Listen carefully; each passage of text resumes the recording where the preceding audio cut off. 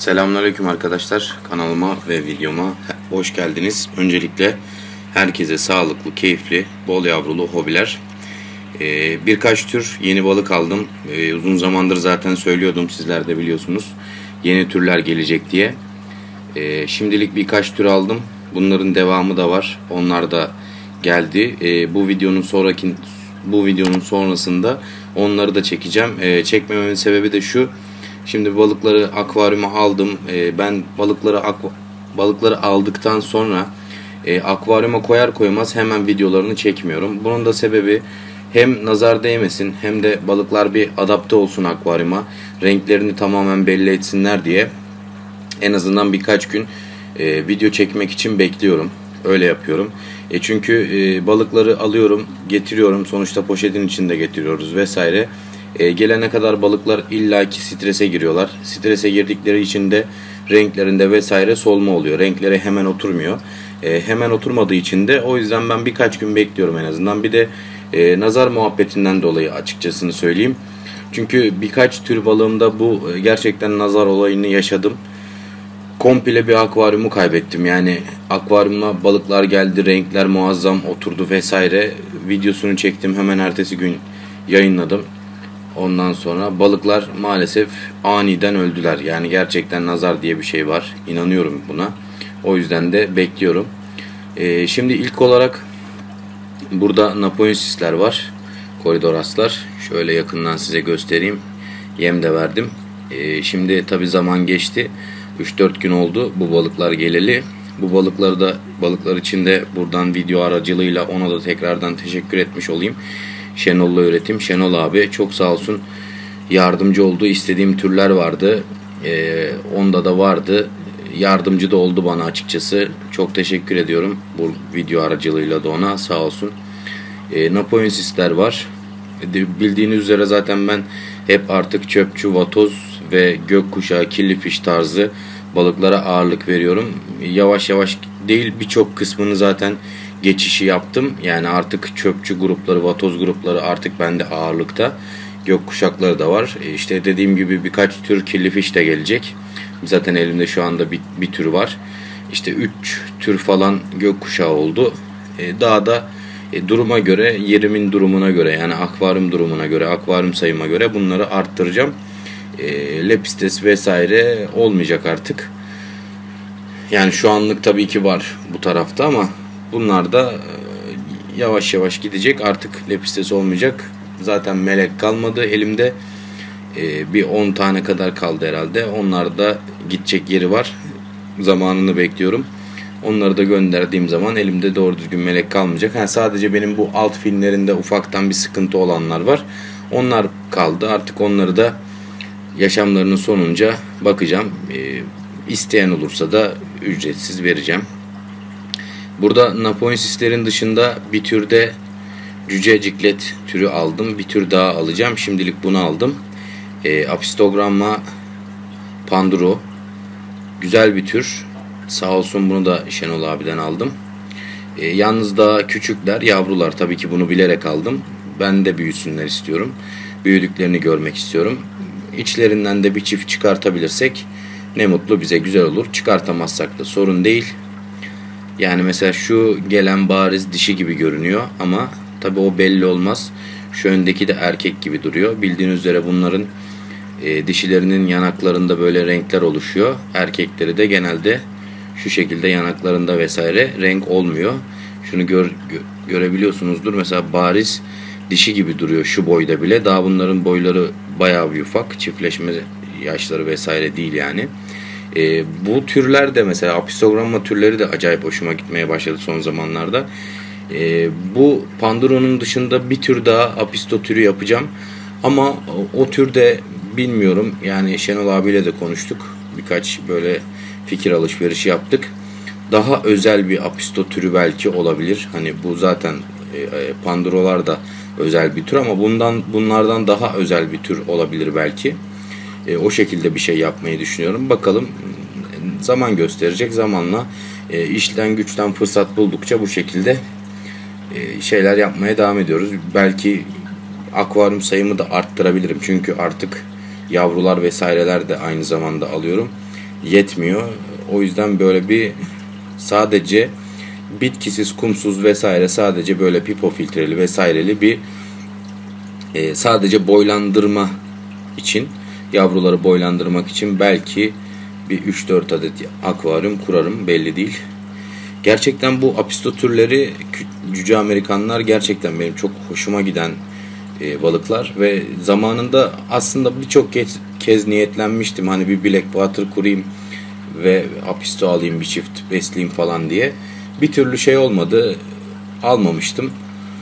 Şimdi nasip oldu aldık bakalım bir sonraki apisto türü ne olacak veya ne olsun. E, sizlerden de böyle çok özel apisto türü e, bilen varsa veya daha önce beslemiş olan varsa yazarsanız sevinirim, bakarım. E, hoşuma giderse tabii ki. Alırım belki de bilmiyorum. Çünkü ben e, bu konularda biraz araştırıyorum açıkçası. Hemen e, illaki birisi önerdi vesaire diyerekten balık almıyorum. Çünkü e, gerçekten keyif almıyorsam bir canlıdan beslemek istemiyorum açıkçası. O yüzden de genelde böyle keyif aldığım türler ve hoşuma giden türleri besliyorum. Zaten beni yakından tanıyanlar bilir. E, bu Napoleonsis çöpçüler de aşırı derecede üstündeki desenler vesaire çok hoşuma gitti. Mesela işte az önce anlattığım olay bunlar ilk geldiklerinde mesela komple beyaz renklilerdi. Bu üstlerindeki desenler vesaireler yoktu. İşte bunu da videoda sizlere aktaramayacaktım açıkçası. O yüzden de birkaç gün bekleyip böyle daha sağlıklı bir video olmuş oldu. Ee, yan tarafa geçecek olursak burada benim bildiğiniz üzere damızlık e, komando çöpçüle, çöpçülerim vardı.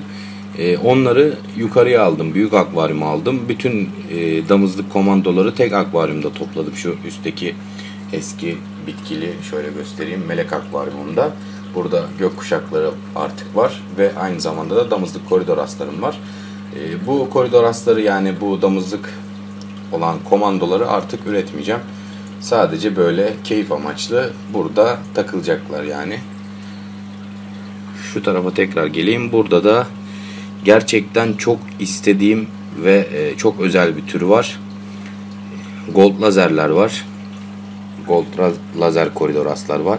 Gerçekten bunların büyüdükleri hallerini ve bu üstündeki renk desenlerini, karanlıktaki parlamalarını vesairelerini görmek çok istiyorum. Gerçekten çok istediğim bir türdü ee, ve aldım sonunda şükürler olsun. Tabi Şenol abinin de desteğiyle, Şenol abinin sayesinde ona da teşekkür edeyim. Yani e, uzun zamandır dediğim gibi istiyordum, yerim yoktu vesaire alamıyordum. E, yerlerimizi artık açtık. E, dediğim gibi bunları da hobi odamıza eklemiş olduk şükürler olsun. Gerçekten güzel bir tür. Hoşuma giden bir tür. Şöyle yani mesela birkaç gün geç, geçmesine rağmen hala tamamen renkleri oturmadı ama oturacak ve büyüdüklerinde zaten efsane oluyorlar. Maşallahlarınızı da esirgemeyin. İnşallah bunları da üreteceğiz. Bakalım yavrularını da almak nasip olur. Burada zaten benim bildiğiniz üzere e, damızlık olan Leis kurtör tül kuyruklarım var. Bunlarla beraber sadece bu iki tür bu akvaryumda kalacak. Burada da işte apistogramma pandurolarla napoleonsisler devam edecek. Şöyle birer kök bıraktım içerisine. Bu şekilde takılacaklar. Ee, yeni e, son olarak bu videoda bir tür daha göstereceğim size. Sonraki 3 tür de aslında geldi. Toplamda e, 7 tür aldım. Ama onu bir sonraki videoda çekeceğim. Biraz daha bekleyeceğim. Çünkü biraz daha böyle bir akvaryum adaptas adaptasyonları bitsin. Sonrasında onları sizlere göstereceğim. Şimdi dilerseniz e, yukarıda ki aldığım yani yukarıdaki akvaryuma yerleştirmiş olduğum diğer bir türü de göstereyim. Ve sonra hani şu yukarıya geçmeden önce buradaki e, pandaları da göstereyim. Panda koridor asları. Bunlar benim damızlık grubum. E, maşallahları var. İçlerinde tül olanlar da var. Düz olanlar da var. Burada 11 11 adet benim damızlık grubum olması lazım. Hatırladığım sayı o. 11 adet zaten sürekli buradan gördüğünüz üzere mob sistemiyle yavru alıyorum. Ara ara duruyorum. Yani e, toplamıyorum yumurtaları. Yerimin durumuna göre. İşte dediğim gibi o boylandırma e, akvaryumlarını yaparsam o zaman çok daha rahat edeceğim. Elimde hem e, adetli üretim yapabileceğim. Yani fazla üretim yapabileceğim. Çünkü şu anda e, sınırlı sayıda üretebiliyorum ki yerim olmadığı için mecburen boylandırma yerim olmadığı için üretimi biraz sınırlı sayıda yapıyorum.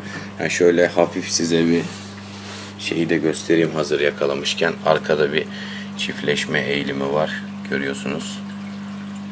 Bakın şöyle ufaktan bir görüntü almış olayım. Orada bir çiftleşme eğilimi gerçekleşiyor. Erkek T pozisyonu alıp e, dişiye sperma aktarıyor. Sonrasında dişi de yumurtaları buradaki yünün içerisine bırakıyor. Bunu da size göstermiş olayım hazır yakalamışken. Zannedersem zaten alt yüzgeçlerinde yumurtayı tutuyor şu anda. Birazdan da üst tarafa geçip sıyırma işlemini gerçekleştirecek. İçerisine, yünün içerisine bırakacak. E, bunu zaten çokça soranlar oluyordu. Evet gördüğünüz gibi şöyle hop girdi yünün içine. Hoppa gördünüz mü? Süper bir görüntü oldu ya. Vallahi süper. Süper. Hop şimdi oraya bırakıyor yumurtaları. Birazdan dışarı çıkacak. Ee, bunu çokça sorun oluyordu. Hazır bu videoda bunu da yakaladığıma sevindim açıkçası. Çünkü işte e, cama yumurtaları diziyorlar. İşte toplayamıyoruz vesaire diyen arkadaşlar nasıl yaparız diyen arkadaşlar vardı. Bununla ilgili soru soruyorlardı. E, bunu da göstermiş oldum. Bu bu şekilde yum mop yaparsanız e, üretimi çok daha kolay yaparsınız. Çünkü e, yum mop'tan yumurtaları toplamak çok daha kolay. Alıyorsunuz yum mopu dışarıya bir kabın içerisine tek tek yanına da bir tane kahve veya çay yapıyorsunuz. O kadar keyifli oluyor ki toplaması tek tek. O kadar keyifli oluyor ki anlatamam yani. Ben çok keyif alıyorum açıkçası yani. O yumurtaları toplarken aşırı derecede keyif alıyorum. Çok keyifli oluyor. Yani size de tavsiye ederim. Böyle tam bir dinlendirici bir şey oluyor. Bakın hala kurlaşmalar devam ediyor. Görüyor musunuz? Bakın dişinin alt yüzgecinde hala yumurtalar var. Henüz uygun bir yer bulamadığı için e, sıyırmadı büyük ihtimalle. Birazdan onu bırakacak yünün içerisine. Sonrasında tekrardan gelip tekrardan erkekle T pozisyonu alıp tekrar bir sperm aktarım işlemi gerçekleşecek. Ondan sonra tekrardan yünün içerisine yumurtaları taşıyacak. Bu şekilde çiftleşme olacak. Bu e, pandalarda da mesela özellikle pandalar bir üremeye başladılar mı mevsim geçişi vesaire dinlemiyorlar. Sürekli üremeye devam ediyorlar. Bazı koridoras türlerinde bu böyle değil. E, bazı koridoras türleri mevsimsel olarak etkileniyor. Hani yumurta sayısı azalıyor, yumurta vermiyor bazen falan ama bu pandalarda bu böyle değil. Pandalar bir kere üremeye başladılar mı devamı geliyor. Dilerseniz şimdi hazır böyle güzel bir görüntü yakalamışken de bunu size göstermek istedim. Dilerseniz şimdi yukarıdaki akvaryuma geçip son türümü de bu videodaki son türümü de sizlere göstermiş olayım. Evet şimdi e, bu videodaki diğer bir özel türümüze geçtik. Tabii ki buradaki stickerların hemen yanına stickerlarını da ekleyeceğim. Çok keyifli bir tür Aspidoras C125 Super Red. Ee, gerçekten çok keyifli bir tür. Ee, renkleri vesaire mesela gördüğünüz gibi bunlar daha da kırmızı hale gelecekler. Ee, şimdi bu akvaryumdaki böyle tortuların vesaire uçuştuğu için yani kusura bakmayın. Ee, onun sebebi şu Hamburg filtrenin asansörü tıkanmış. E, ben de işte olduğum için fark edemedim açıkçası. E, yani az az e, bir sirkülasyon vardı. Sonrasında onu e, temizledim vesaire derken içerisine biraz böyle bir tortu vesaire e, saldı. Tab tabii çalıştıktan sonra onu birkaç saate topluyor ama e, şimdi video çekerken hani çok hoş görüntü olmadığı için kusura bakmayın. Beni etkileyen bir görüntü değil açıkçası ama hani videoyu izleyenler için bir ön bilgi söylemek istedim. Gerçekten çok keyifli bir tür. E, aldığıma da gerçekten o kadar e, memnunum ki. Yani akvaryumun her her tarafında geziyorlar. E, tam bir böyle e, keşif canlısı gibi. Şeyler gibi değil yani normal koridor aslarda mesela hemen şurada örnek göstereyim. Buradaki benim pandalarım. Bunlar da artık e, damızlık boya ulaştılar. Bunlar benim aşağıdaki kendi damızlıklarımdan aldığım yavrular. Bunlardan da kendime bir damızlık grup oluşturdum. E, bunu neden yapıyorum? Akvaryumda herhangi bir durum olması sebebiyle tabii ki Allah korusun da yani komple akvaryumu kaybetme yani komple akvaryumda bir sıkıntıdan dolayı kaybetme olursa diyerekten her zaman böyle bir e, bir damızlık grubunun yanına bir damızlık daha mutlaka yapın eğer ki akvaryumunuz varsa. Şimdi bu taraf yani demek istediğim şu onlar hep saklanıyorlar ama bunlar hep aktifler. Şu iki tane üstte e, Anubias'ın oradaki olan dişi e, az önce de bir kurlaşma yapıyorlardı ama onu gösteremedim yan tarafı anlattığım için. E, altılı grup halinde aldım. Bunu her zaman söylüyorum. Tabii ki bu e, çöpçü yani koridoras olarak geçmiyor, aspidoras olarak geçiyor ama e, yine mantık olarak e, sürü balığı olarak olduğu için çöpçü türlerinde ve, ve bu türlerde en azından minimum altılı gruplar halinde besleyin mutlaka. Yani çöpçüleri de komando çöpçü dahil olsa altı gruptan aşağıya beslemeyin. Bunun e, hem balığın sağlığı için hem de sizin göz sevginiz, göz zevkiniz için bence çok önemli. Yani bunu mutlaka yapın arkadaşlar. Yani e, hem balıktan e, zevk alırsınız hem onu seyredersiniz hem e, balığın sağlığı açısından da çok iyi olur. E, çünkü kalabalık gruplarda olduklarında aktif geziyorlar ve çekinmiyorlar. Mesela benim e, hemen şu yan tarafı göstereyim tekrar buraya geleceğim. Benim mesela buradaki Orange Venezuela'lar burada e, 20 kadar var. E, burası nereden baksanız 200 litrelik bir akvaryum.